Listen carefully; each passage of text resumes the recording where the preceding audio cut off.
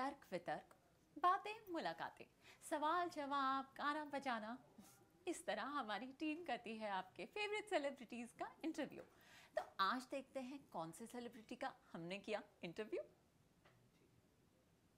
सास, बहू और बेटिया, आज पहुँच गए प्रतिज्ञा के सेट पे, जहाँ हम आपको मिलाएँगे खास मेहमान से और बताएँगे उनके ऑफ़ स्क्रीन मस्ती और उनके रिश्ते के बारे में। तो आज हम आपको मिलाएँगे केसर और बाबूजी से।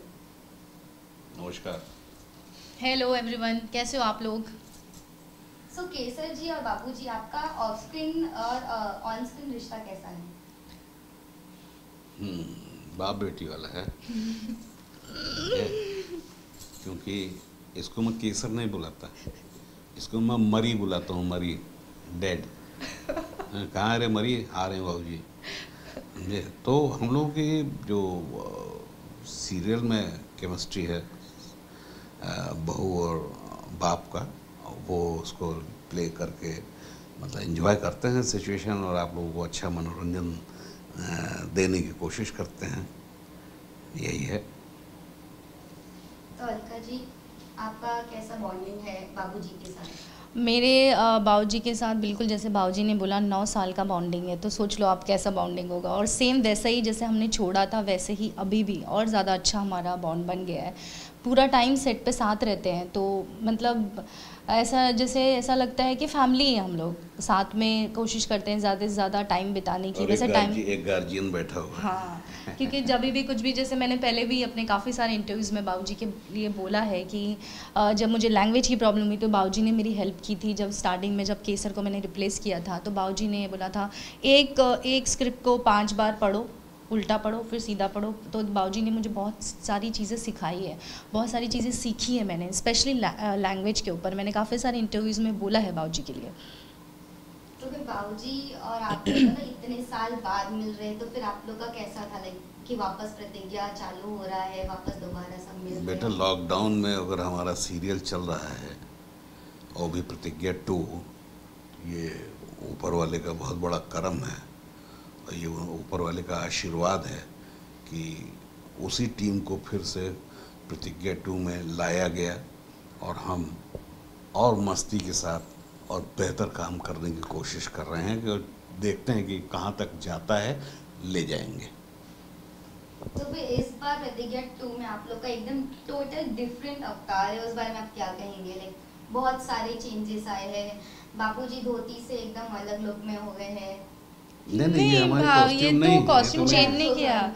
नहीं। धोती नेचर में नेचर में थोड़ा सा थम गए हैं। जो होता था ना इंटेंस कभी भी किसी को कुछ भी भड़क भड़क के बोल देना। अब वो इसलिए कम हुआ है कि हमारी जो फैमिली दिखाई गई है उसमें नाती पोते आ गए हैं। तो आदमी की जब परिवार बढ़ता है और उसमें और भी चीज़ें एक्सप्लोर होती हैं तो फिर आदमी भी अपने उस पोजीशन पे आ जाता है जहाँ वो पहले था, वहाँ से हट के नीचे नम जाता है, बहुत ही सॉफ्ट हो जाता है। और ये चीज़ हम लोग अपनी परफॉर्मेंस में लाने की कोशिश कर रहे हैं कि हाँ अच्छा से अच्छा कैरेक्टराइजेशन करके दें। ताकि लोगों को पसंद आए और पसंद आ भी रहा है, जैसा मैंने सुना है। हाँ हाँ बहुत अच्छे रिव्यूज़ आ रहे हैं। बहुत सारे, मैंने बहुत सारे इंटरव्यूज़ दिए इस दौरान। सब लोग ने बहुत शो की तारीफ़ की है। तो फिर पहले केसर काफ़ी सहमी हुई वगैरह थी अभी केसर का कैसा है? प्रतिज्ञा वन में भी मेरे को बहुत वेरिएशन करने को मिला। पागल भी हो गई थी नेगेटिव भी हो गई थी पॉजिटिव भी थी। काफ़ी सारे वेरिएशन किए थे मैंने एंड में। और सीज़न टू में भी मुझे ये बोला गया था कि केसर इंडिपेंडेंट हो जब मुझे स्क्रिप्ट सुनाई गई थी, जब बोला गया था स्टोरी सुनाई गई थी तो बोला था कि इंडिपेंडेंट हो गई है, बच्चे मज़ाक उड़ाते हैं, उसको अच्छे से कुछ करने नहीं आता है। लेकिन अभी जिस तरह से चल रहा था लॉकडाउन का ऊपर नीचे राइटर्स को भी समझ में नहीं आ रहा था कि कैसे करे क्या करे। सबका इनफैक्ट जो बाबूजी अब पहले बोला था उसके हिसाब से काफ़ी सारी चीज़ें चेंज हुई है हम लोग सबके कैरेक्टर में। तो ऐसा नहीं है कि केसर सहमी हुई रहेगी अगर राइटर बता देगा कि केसर सेंस ऑफ़ मेच्योरिटी आ गई। हाँ। हर कैरेक्टर में। हर कैरेक्टर में। तो अगर राइटर लिखेंगे तो मैं सब कुछ कर सकती हूँ ऐसा कुछ नहीं एज एन एक्टर हम लोग रेडी है सब कुछ करने। जैसे बाबूजी को सब लोग पूछते हैं आप रोमांटिक प्ले कर रहे हैं आप नेगेटिव प्ले कर रहे हैं तो जैसे राइटर्स हमें देते हैं वैसे हम प्ले करते हैं। सो so, आगे राइटर जैसे जैसे केसर के कैरेक्टर को लिखेंगे या उसे बताएँगे उस हिसाब से हम प्ले करेंगे।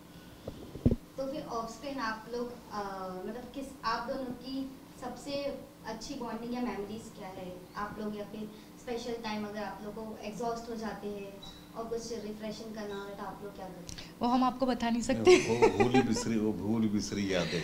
हाँ। वही याद करके हम हाँ हम नौ साल की काफ़ी सारी चिट चैट करते हैं जो अच्छा टाइम हमने बिताया है साथ में। सेट पे हमें और नया कुछ गॉसिप होती है नई चीज़ें होती है। बाबूजी की थोड़ा भी तबीयत ठीक नहीं रहती हम बाबूजी को ज़्यादा परेशान नहीं करते हैं। तो ऐसे सेट पे हम लोग मिलते हैं तो चिट चैट करते हैं। बाबूजी अपनी बहुत सारी स्टोरी सुनाते हैं हमें जिसमें हम बहुत इंस्पायर होते हैं सुन के। लाइफ के हुए हैं। हर तरह के। शेयर करते हैं और लाइफ में क्या घटा कैसे हो रहा है।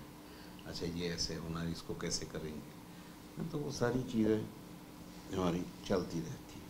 मतलब ऑन स्क्रीन आप काफ़ी ससुर जी जो होते हैं बहुत ही ये होते हैं ना कमांडिंग काइंड ऑफ़ और ऑफ़ स्क्रीन वो इतने ही अच्छे हैं। हाँ अपोजिट है टोटल बिल्कुल केसर और अलाइका के जैसे।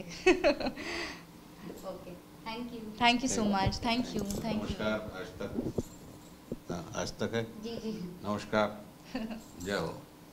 Be healthy be happy be safe अपना ध्यान रखें सुरक्षित रहें और हमारा प्रतिज्ञा सीज़न टू देखते रहें और इंजॉय इन्जॉय करते रहें। Thank you guys see you soon cameraman Gaurav के साथ निधि चौरसिया मुंबई आज तक।